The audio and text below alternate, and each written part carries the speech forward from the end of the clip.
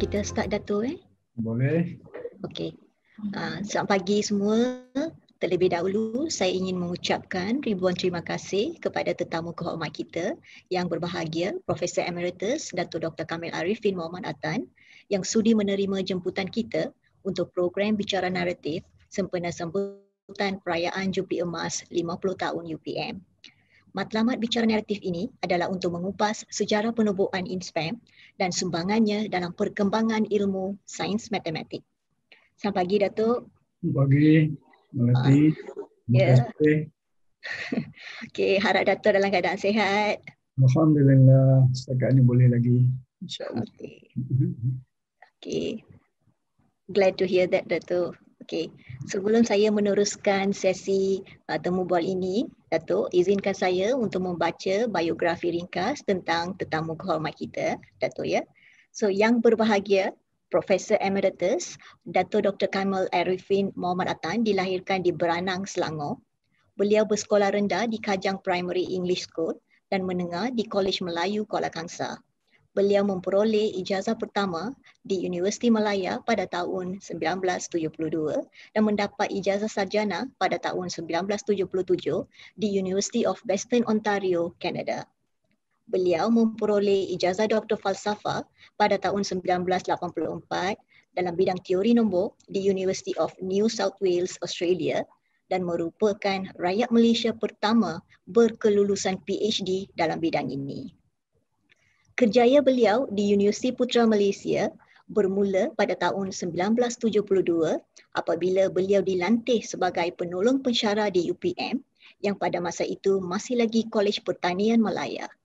Sekembalinya beliau dari melanjutkan pelajaran di Kanada, beliau ditugaskan sebagai pensyarah khusus matematik di UPM Kampus Kuching, Sarawak. Dalam pentadbiran beliau, pernah memegang beberapa portfolio penting di Universiti Putra Malaysia. Beliau pernah dilantik sebagai Ketua Jabatan Matematik, Fakulti Sains dan Pengajian Alam Sekitar, Timbalan Dekan di fakulti yang sama, Pengarah Pusat Pengajian Matrikulasi UPM Timbalan Naik Chancellor Akademik UPM, Ketua Jabatan Matematik Fakulti Sains. Beliau juga merupakan pengasas kepada penubuhan Institut Penyelidikan Matematik INSPAM di UPM dan dilantik sebagai pengarah di INSPAM bermula pada tahun 2002 sehingga persaraan beliau pada tahun 2016. Pada tahun 2016, beliau dianugerahi gelaran Profesor Emeritus oleh UPM sempena Majlis Convocation UPM ke-40.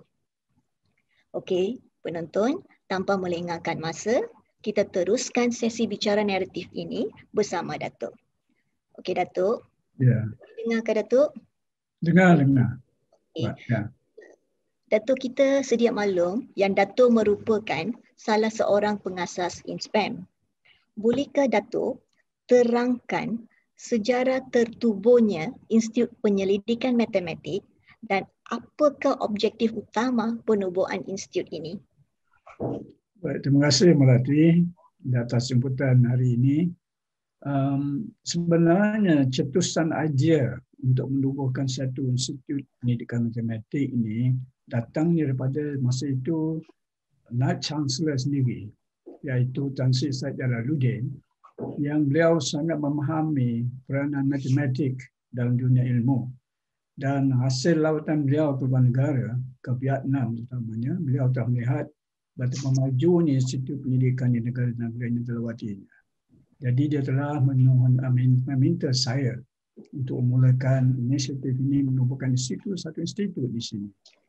Jadi kita telah bersama-sama mengarahkan di Jabatan Matematik ketika itu telah menyiapkan satu kelas kerja untuk menubuhkan uh, INSPAM ini dan diluluskan oleh Senat dan juga Jabatan Pembinaan Tinggi dalam tahun 2001 dan kita dianugerahkan grant pelancaran sebanyak RM500,000 Malaysia.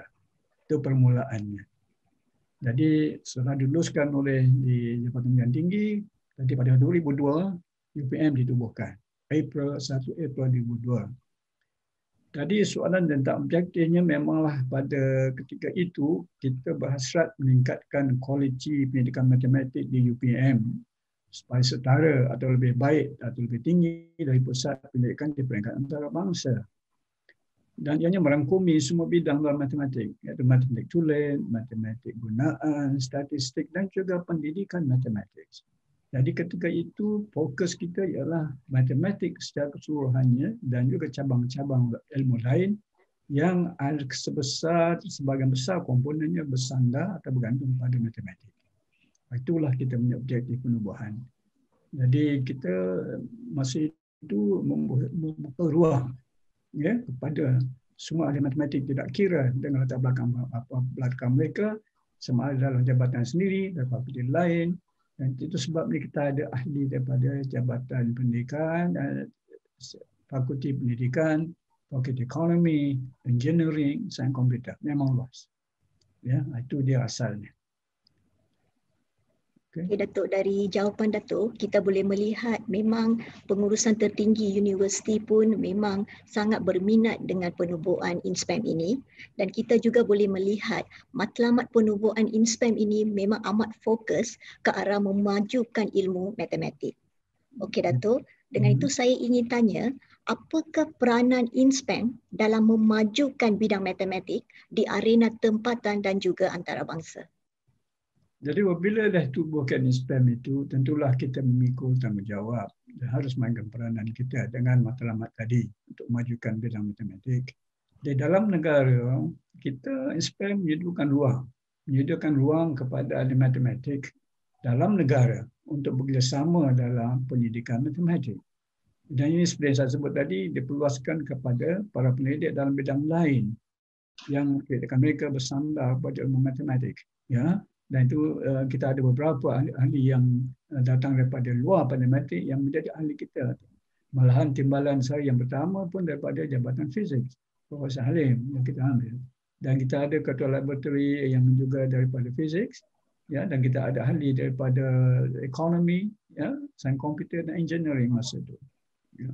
Jadi dalam peringkat antarabangsa kita berperanan sebagai membuka ruang juga pada pendidik di peringkat antarabangsa melalui jaringan untuk bekerjasama dengan pendidik tempatan untuk meneroka dan menjadikan menjalankan pendidikan secara bersama. Ya, itu dia peranan yang secara umum yang kita pikul sejak ini ditubuhkan peringkat awal itu. Ya, kasih Datuk. Ya, kita boleh nampak ya uh, peranan InSpam ini memang luas dan khususnya kita ingin membuka ruang kepada para penyelidik supaya boleh mereka boleh menjalankan penyelidikan secara agresif dan juga aktif dalam bidang matematik supaya bidang matematik ini boleh dapat pengiktirafan di arena tempatan dan juga antarabangsa. Ya. Yeah. Bagus ya Datuk. So Datuk, kalau kita melihat eh kalau nak memajukan sesuatu organisasi, uh, kita memang harap sumbangan tenaga kerjanya tu memang amat penting. So dengan itu, bolehkah Datuk menerangkan potensi dan sumbangan tenaga pakar dan sokongan yang telah berkhidmat di InSpam. Ya, uh, Melati, ini sangat penting ya untuk menggerakkan sesuatu organisasi. Kita perlukan tenaga-tenaga yang boleh menggerakkan dengan baik. Ya, jadi pihak InSpam kita ada dua bahagian, iaitu tenaga pakar sendiri dan tenaga sokongan. Tenaga pakar terdiri dari pendidik tetap dan pendidik bersekutu yang terdiri dari pendidik dari berbagai jurusan ilmu yang saya sebut tadi. Semangat mereka adalah menghasilkan penemuan baru sama ada dalam bidang matematik sendiri atau dalam melancarkan lagi pendidikan dalam jurusan lain dari ilmu yang lain dari matematik yang sebagian besar bergantung pada penggunaan ilmu matematik yang betul dan cekal. Ya, ini kita punya peranan yang main oleh tenaga-tenaga pakar di dalam SPM bagi tenaga sokongan itu juga amat penting mereka terdiri daripada pegawai yang menjalankan urusan pentadbiran harian ya yang sangat membantu tenaga pakar dalam mendapatkan keperluan yang penting untuk melancar melincinkan lagi urusan tugas mereka sebagai penyelidik. Jadi kedua-dua ini adalah sebagai seekor burung yang dua sayap. Dua sayap mesti bergerak seirama. Ya, kalau satu sayap tidak boleh gerak, burung tak boleh terbang. Ya. Begitulah keadaan spam, kita mesti ada satu badan sebagai burung yang dua sayap ini ber, uh, berperanan dengan baik dan uh, uh, boleh melaksanakan tugas-tugas seperti yang di, di, diharapkan. Ya. Inilah yang kita ada dalam spam. Dua, dua bahagian. Ya. Ya, Datuk. Uh, terima kasih. Ya, daripada jawapan Datuk, kita boleh melihat eh, sumbangan tenaga pakar dan juga uh, yang sokongan ini memang begitu signifikan bagi mencapai objektif penubuhannya dan mereka telah pun uh, bekerja maksudnya mereka complement each other supaya kita boleh mencapai matlamat in span. Okay? Okay, Datuk. Ya. So, kalau kita tengok bagaimana actually mereka telah bergerak seiring dengan Datuk untuk mencapai objektif penubuhan in spam. Sebab kalau kita lihat uh, tenaga pakar mungkin mempunyai uh, pandangan yang lain. So bagaimana Datuk uh, sebenarnya mereka telah ber, bergerak seiring dengan Datuk supaya matlamat uh, penubuhan uh, in spam ini boleh dicapai. Baik, terima kasih Melati. Itu soalan yang bagus. Um, bagaimana mereka bergerak untuk mencapai objektif spam ya? Saya uh, ketika berada di sini saya lihat uh, saya pentingkan bahawa setiap orang kaki tangan spam kena jelas dengan bidang tugas masing-masing. Ya, dan alhamdulillah mereka berjelas dengan tugas masing-masing daripada peringkat yang paling rendah ke atas daripada pencuci sehingga pengarah. Semua tahu peranan masing-masing. Para penyidik pula berada dalam kumpulan penyidik mengikut kekhususan masing-masing yang diketuai oleh seorang ketua laboratori. Ya. Dan bahagian sokongan pula diketuai oleh seorang penolong pendaftar melalui syarat bulanan yang diadakan ketua laboratori dan penolong pendaftar akan dimaklumkan tentang aktiviti yang harus dilaksanakan ya yang untuk mencapai matlamat spam itu ditubuhkan. Dan juga maklum balas tentang tindakan dari mereka yang dipertanggungjawabkan akan dimaklumkan dalam mesyuarat bulanan ini ya. Kemudian bagi pihak laboratori ketua laboratori dan juga penolong daftar dia mewujudkan forum perbincangan atau mesyuarat dengan ahli masing-masing untuk menyampaikan mengambil tindakan tentang sebarang keputusan yang dibuat dalam mesyuarat utama. Ya. Di samping itu, kita wujudkan juga mesyuarat berkala untuk membincangkan pelan tindakan khusus mengenai sebarang projek atau aktiviti khusus yang telah dipersetujui untuk dilaksanakan. Dan semua keputusan-keputusan dalam mesyuarat ini kita pastikan dilaksanakan melalui pemantauan kita ada pemantauan di luar bilik mesyuarat untuk memastikan keputusan mesyuarat dilaksanakan ya, mengikut jadual kerja yang ditetapkan. Jadi kita ada sistem ini, mesyuarat bulan ini sangat penting diminitkan keputusan-keputusan dan kita kena pasti sesiapa yang harus mengambil tindakan bagi setiap satu tindakan dan dia akan laksanakan mengikut jadual kita tetapkan. Dan hasil daripada tindakan mereka ambil mestilah dilakukan kembali pada mesyuarat besar pada bulanan yang berikut. Dan ini berjalan sejak SPM ditubuhkan dan sangat berkesan. Ya. Itulah yang kita kita bergeraklah secara umumnya. Ya. Ha? Mati? So, betul? Ya, ya, ya Dato'. So, nampaknya Uh, mesyuarat bulanan ini memang memainkan peranan yang penting untuk menggabungkan segala tenaga pakar dan juga tenaga sokongan yang ada di InSpam supaya kita boleh bergerak seiring dengan uh, uh, tindak tanduk uh, Datuk supaya kita boleh mencapai objektif penubuhan InSpam. Ya. Yeah. Yeah, faham ya Datuk. Hmm. Okey. So, bolehkah Datuk uh, terangkan apakah aktiviti atau program utama yang telah dijalankan bagi mencapai objektif penubuhan InSpam? Sebab sejak penubuhan InSpam ni kita telah menjalankan pelbagai aktiviti Datuk. Mungkin Datuk boleh menyentuh beberapa aktiviti yang sinonim dengan uh, penubuhan InSpam. Terima kasih Malati. Sejak penubuhan InSpam ini, uh, saya ingin maklumkan bahawa kegiatan pendidikan sebelum penubuhan SPM tidaklah begitu rancak. Sebab budaya untuk melaksanakan pendidikan itu sangat tidak begitu bagus masa itu. Dan saya lihat ini sebagai satu cabaran. Jadi kita buat program-program tertentu yang untuk mencapai uh, hasrat penubuhan SPM itu. Ya. Jadi bila soalkan program utama SPM itu sebenarnya banyak yang kita buat. Sebagai saya semua utama. Ya.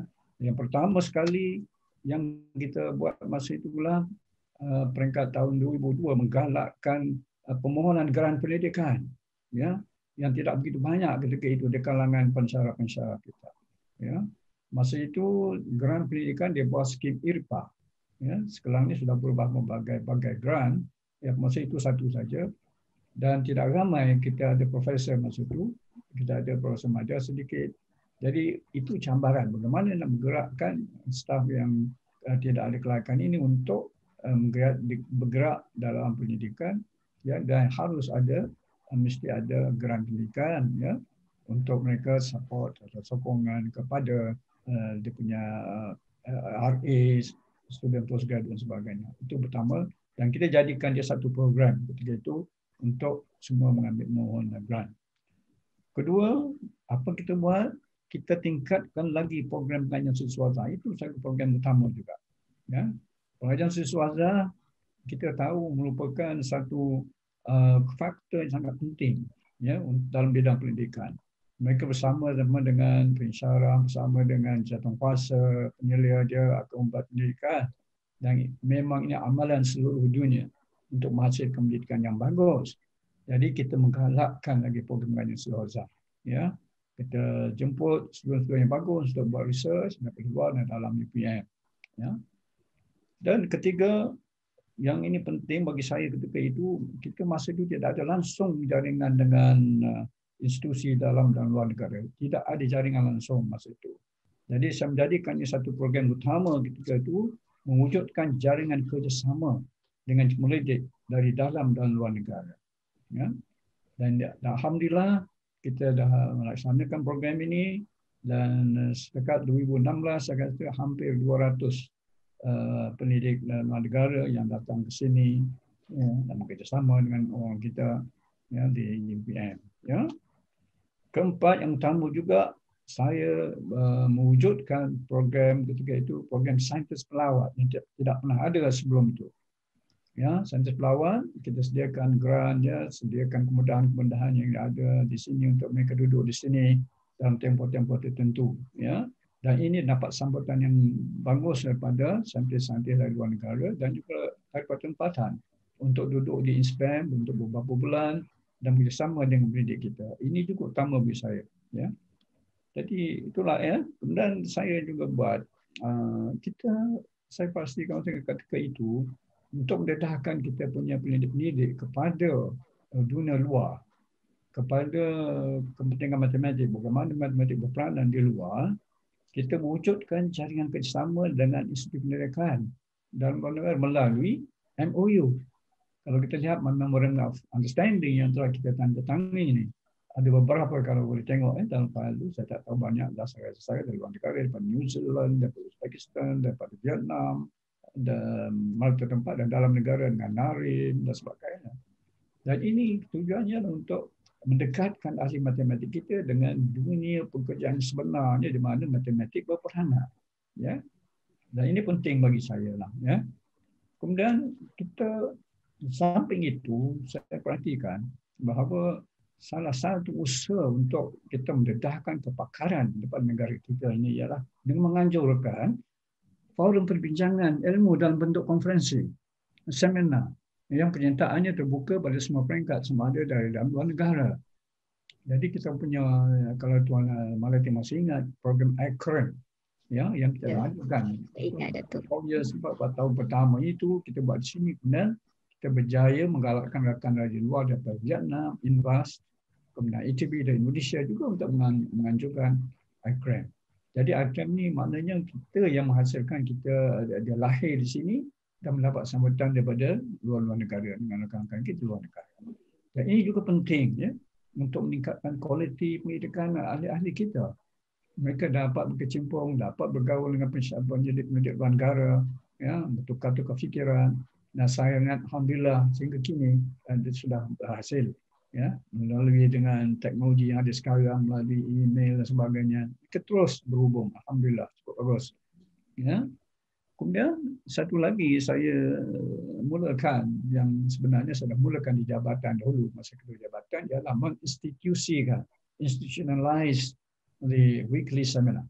Ya, seminar mingguan yang kita buat setiap hari Jumaat itu itu sebelum itu tidak wujud, tak pernah ada.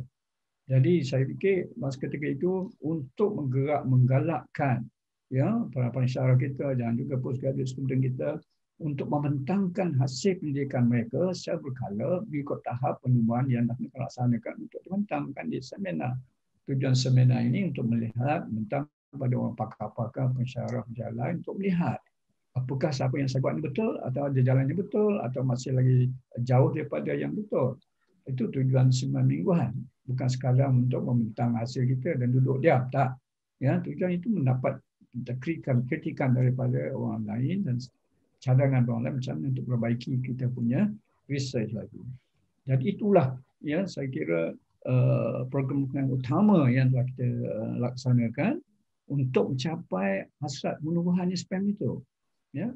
Dan saya rasa kalau ini semua dapat dilaksanakan, diteruskan sekarang ini, saya ingat spam akan lagi tinggi. Sebab saya lihat tahap apa daripada sejak dia ditubuhkan dulu di masa itu tak ada benda lagi. Sekarang saya ingat dah macam-macam. Lah Melati pun dah banyak publish. Rakan-rakan banyak publish. Yang masa itu, kita tak tergambar masa awal penubuhan itu. Ya, Alhamdulillah. Jadi itulah antara, mungkin ada lagi tapi saya cukup sakat itulah tentang uh, program utama. Ya, ya Datuk. Uh, saya boleh nampak ya aktiviti yang dirancang itu sebenarnya uh, kita bergerak daripada asas di mana kita membantu penyelidik untuk mendapatkan geran supaya mereka boleh menjalankan uh, penyelidikan mereka. Seterusnya mereka juga boleh uh, apa um, supervise students. Lepas tu mereka boleh kita juga menyediakan satu platform supaya mereka boleh menyebarkan apa hasil uh, daripada penyelidikan mereka kepada dunia luar supaya dunia luar boleh mengetahui uh, apa yang kita telah jalankan dan kita dapat recognition daripada apa yang kita telah buat. So saya rasa aktiviti-aktiviti yang kita anjurkan ni uh, memang begitu signifikan untuk mencapai hasrat in spam sebenarnya Datuk. Dan Wah. satu lagi yang uh, yang saya ingin tanyakan Datuk sebab daripada aktiviti yang Dato telah jalankan tu kan sepanjang dalam perkhidmatan Dato tu kita juga telah apa uh, invite ba- uh, banyak saintis pelawat dari luar negara. So boleh ke Dato terangkan sedikit uh, apakah uh, pandangan mereka, view mereka, opinion mereka terhadap uh, penyelidikan yang telah kita jalankan um, di InSpam. Apakah pandangan mereka sebenarnya? Mereka sebenarnya bila datang sini, mereka melihat SPAM ini sebagai satu organisasi yang unggul di Malaysia. Sebab mereka faham tidak ada universiti lain atau universiti lain di Malaysia ni yang punya institut yang menjalankan aktiviti pendidikan matematik secara khusus. Jadi mereka berpandangan sehingga ini adalah satu yang baik dan bagus dan bidang-bidang yang kita sentuhi juga mereka menariklah. Itu sebab yang datang itu pun pelawat ini sesuai dengan bidang-bidang yang kata kita ada di sini. Dan Alhamdulillah uh, pensyarah-pensyarah kita dapat uh, berkecimpung, dapat bergaul dengan mereka dan menghasilkan pendidikan yang baik, kerja kerja yang baik. ya. Dan ada ramai profesor kita yang sekarang ini hasil pendidikan mereka dengan profesor pelawat-pelawat ini telah meningkatkan lagi ranking ni kan untuk mencapai apa ni pangkat profesor itu ya. Jadi saya nak sentuh tentang seminar tadi satu-satu perkara yang saya lihat dahulu uh, masa kita ada jabatan matematik dulu uh, tidak ramai yang nak, nak nak pergi berseminar di luar negara. Tapi bila kita adakan program seminar kita sendiri anjurkan timbul keyakinan diri mereka ya untuk menyertai seminar program konferensi di luar negara dan meningkat dari tahun ke tahun. Ya ini satu yang positif yang saya nampak berlaku lah. Ya itu yang saya nak tambah sedikit tadi lah. Ya. Ya, sememangnya Datuk uh, seminar ini memang beri panduan yang guide uh, student supaya mereka boleh uh, apa present dengan lebih confident uh, Datuk. Uh, memang ini satu platform yang amat bagus. Okey Datuk. So daripada biografi Datuk adalah amat jelas yang Datuk telah berkhidmat sebagai pengarah di InSpam eh, bagi satu tempoh masa yang panjang iaitu 14 tahun. So dengan itu boleh Datuk berkongsi pengalaman manis Datuk bersama InSpam sepanjang perkhidmatan Datuk. Mungkin banyak pengalaman manis ya Datuk. Ya, pengalaman memang eh, tempoh 14 tahun itu panjang dan banyak kenangan-kenangan yang dapat saya ingat yang manis. Tapi yang utama yang saya rasa yang saya sangat suka bersyukur ialah pengalaman jalankan tugas sebagai pengarah dengan mendapat kerjasama yang padu daripada semua kaki tangan InSpam. Dari peringkat bawah hingga ke peringkat atas sehingga InSpam mencapai objektif dan kejayaan yang membanggakan. Itu sangat-sangat saya bersyukur, sangat manislah bagi saya. Lah. Ya, kita mengamalkan sistem tidak ada uh, apa ni kasta-kasta. Ya, tempat lain kalau di luar sana di di uh, dimensi tertentu, uh, yang atas sekali tak boleh disentuh. Ya, jadi marahan saja. Sini tidak. Ya, Alhamdulillah. Jadi kita dapat uh, bekerjasama, bertukar fikiran secara terbuka dan menerima kritikan secara bagus. Ya, dan ini satu yang sangat saya rasa suka dapat di luar sana lah. Jadi ini satu kenangan yang manis. Ya. Kedua, um, kejayaan yang Islam terima lah, ya. hasil daripada usaha kerja kita bersama semua ya dalam bentuk anugerah-anugerah dalam pameran hasil pendidikan di peringkat bangsa dan luar negara yang yang tak mungkin dapat dicapai kalau tidak ada kerjasama ini. Ah, ini satu kenangan, satu pengalaman yang saya kerap ulangi dengan orang luar sana. Ya, bagaimana kita boleh berjaya. Mereka faham bidang matematik ini suka, abstrak. Ya, ramai yang tahu ni bagaimana boleh menang, macam mana boleh jaya, bagaimana boleh mendapat medal sana sini. Ya, saya kira ini kerjasama. Ya, semua orang. Ketiga, uh, kenangan yang manis ya apabila kita sebab kerjaan-kerjaan kita itu mendapat pengiktirafan daripada European Mathematical Society. Ya, dan mengiktiraf UPL INSPAM sebagai Emerging Regional Center in Mathematical Sciences. Ya, yang tidak banyak di rantau Asia ini. Ya, dan kita antara yang few yang mendapat pengiktirafan yang berprestij ini. Ya, ini satu yang yang uh, saya ingat satu kejayaan yang besar bagi ISBM lah. Ya. Okay. Dan of course uh, selain daripada pendidikan, selain daripada konferensi ini, kita berjaya menerbitkan jurnal. Ya. Kita Malaysian Journal of Mathematical Sciences. Peringkat permulaan dulu memang agak slow. Tapi sekarang Alhamdulillah daripada permulaan itu saya lihat sumbangan artikel bukan saja daripada dalam negara tapi luar negara cukuplah ramai. Dan ini merupakan satu uh, bahan penulisan yang dihasilkan oleh INSPAM dalam bentuk jurnal yang merupakan kejayaan bagi INSPAM. Eh? Dan dia ini sudah diskopus listed. Jadi saya rasa inilah kenangan-kenangan manis yang pengalaman manis selama 14 tahun di sini. Tapi yang utama tadi ialah menjalankan tugas mudah dengan kerjasama bersepadu dengan rakan-rakan ya daripada bibi daripada ingat bibi dah tak ada dah Anu pun dah tak ada ya. Pada bawah sana Saifuddin pun dah tak ada. Ya tapi semua dah menyumbang ya. So alhamdulillah saya bersyukur sangat ya.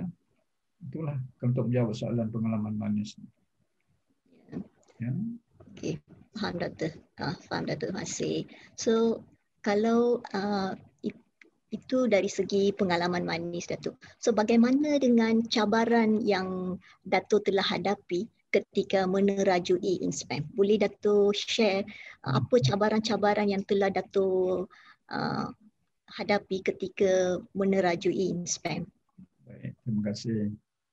Cabaran ini sentiasa wujud sejak dari awal penubuhan. Bila kita buat penubuhan InSpam dulu kita ada vision, kita ada visi, kita nak lihat dalam 20 tahun lagi inspirasi begini saya nak inspirasi begini. Ya. Jadi memang kita punya visi itu sangat tinggi. Sebab kalau sanding dengan apa ni apa, ni pusat-pusat pendidikan luar negara kita kena letakkan kita punya target tinggi. Kita punya sasaran tinggi. Jadi cabaran itulah. Bagaimana nak membuat spam yang ketika permulaannya tidak begitu dikenali dan ahlinya pun tidak begitu aktif untuk mencapai itu cabaran yang utama lah. Ya. So, uh, jadi kalau nak sebut uh, cabaran yang ketika saya hadapi itulah siang dan malam saya fikirkan, ya, nak tidur saya fikirkan, macam mana nak menerapkan menerapkan kefahaman dan penghayatan Buddha yang cemerlang dalam kaki tangan uh, inspam sama ada para pendidik maupun pegawai sokongan. Ya. Buddha cemerlang ini menangat maknanya kita mesti ada target, kita ada vision, kita ada mission kita untuk mencapai tahap cemerlang itu. Jadi bagaimana saya fikirkan kepada macam mana nak buat ini. Sebab kaki tangan saya, kaki tangan spam ni latar belakang berbagai-bagai. Ya dan ada yang faham, ada yang tak faham. Bila disebut tentang ini belum cukup, belum cukup lagi ke? Kita kata buat lagi. Uh, ini cabaran lah. Tapi cabarannya bagaimana nak uh, meluruskan diri kita, secara, diri kita bersama dengan this human being, ya, kawan-kawan kita ni yang mempunyai perasaan, mempunyai kemampuan tertentu, mempunyai kemampuan yang tertentu, yang setengah tu ada masalah keluarga dan sebagainya. So ini ini cabaran lah sebagai ketika itulah. Tapi alhamdulillah tidaklah mencecaskan langsung uh, usaha kita untuk mencapai objektif perubahan sekarang. Hmm. Itulah cabaran utamanya. Ya, faham Datuk. So kalau kita tengok cabaran utamanya adalah untuk menguruskan um, apa um, tenaga kerja yang bekerja di Inspam supaya mereka boleh memberi komitmen yang tinggi dan juga boleh melahirkan uh, budaya cemerlang supaya budaya kerja cemerlang supaya kita boleh memajukan inspam uh, ke satu tangga yang lebih tinggi ya. Datuk uh, saya faham. Kita faham yang tu. Okey Datuk. Setelah menerajui uh, tunggak kepimpinan selama 14 tahun ya Datuk. Adakah Datuk berpuas hati dengan pencapaian dan objektif penubuhan inspam secara keseluruhannya? Apa pandangan Datuk berkenaan dengan dengan hal ini? Soalannya agak sikit tapi soal, soal puas hati tak puas hati inilah kan.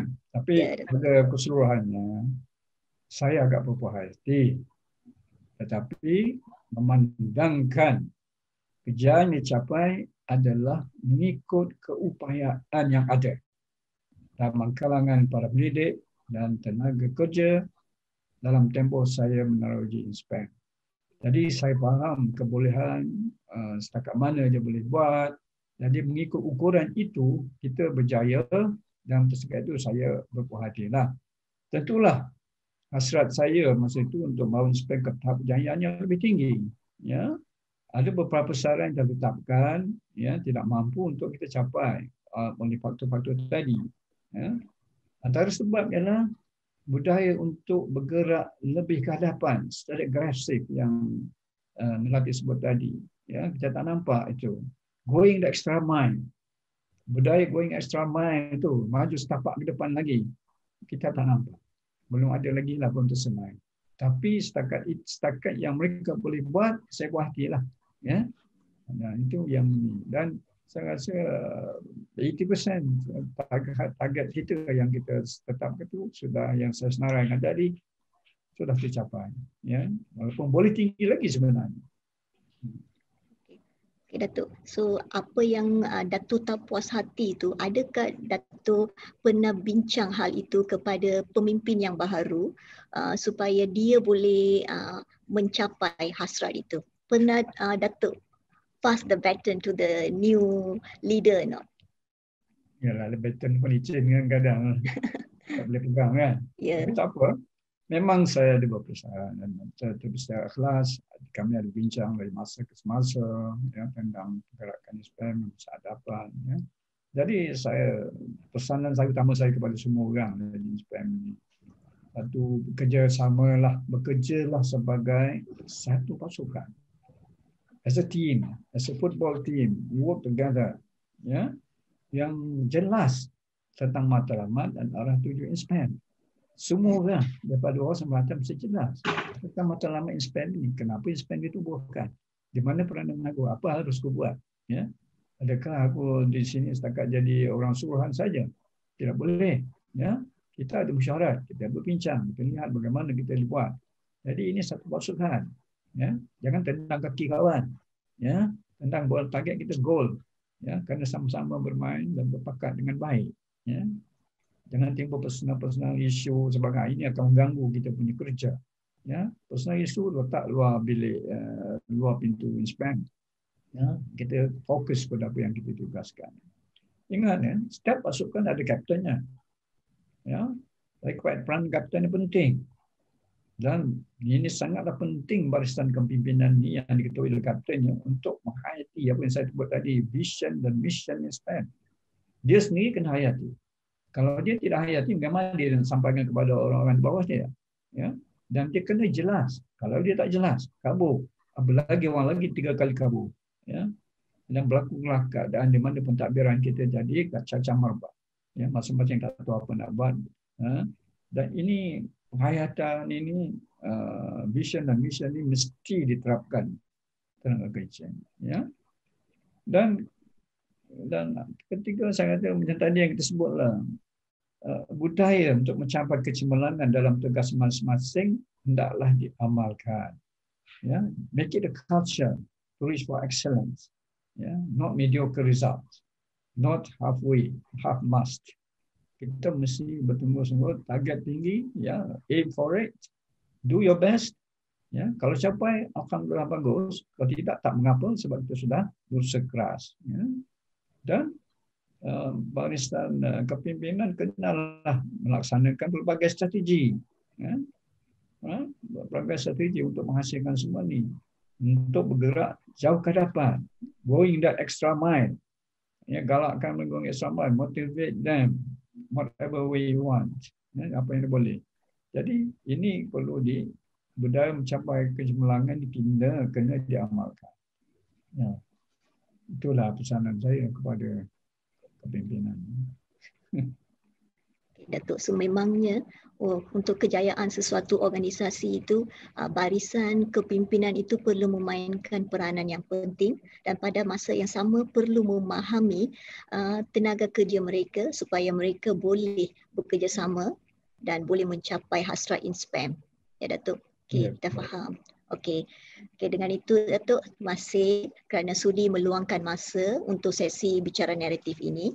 So input-input yang Datuk kongsikan itu memang amat menarik dan juga menambah pengetahuan kami tentang sejarah penubuhan InSpam. Okey Datuk. So adalah amat uh, besar harapan kami agar Datuk terus menyumbang dan uh, berkongsi pengalaman yang berharga dengan barisan pimpinan yang sedia ada supaya InSpam boleh kekal berdaya saing dan boleh bergerak secara agresif Datuk pada masa akan datang. Okey. Okey, masih Datuk. Dengan ini Ah, kita sudah sampai ke penghujung sesi um, bicara naratif ini. Harap segala input yang Dato' telah kongsikan dapat mempertingkatkan pengetahuan semua tentang sejarah penubuhan InSpam. Okay. Dengan itu, masih Dato'. Terima kasih. Uh, ya. Dengan ini, kita sudah sampai ke penghujung program bicara naratif ini. Harap segala input yang Datuk telah kongsikan dapat mempertingkatkan pengetahuan semua tentang sejarah penubuhan InSpam. Saya mewakili Institut Penyelidikan Matematik mengucapkan selamat meraihkan sambutan Jubli Emas UPM dan International Day of Mathematics 2021. Terima kasih kerana sudi menonton.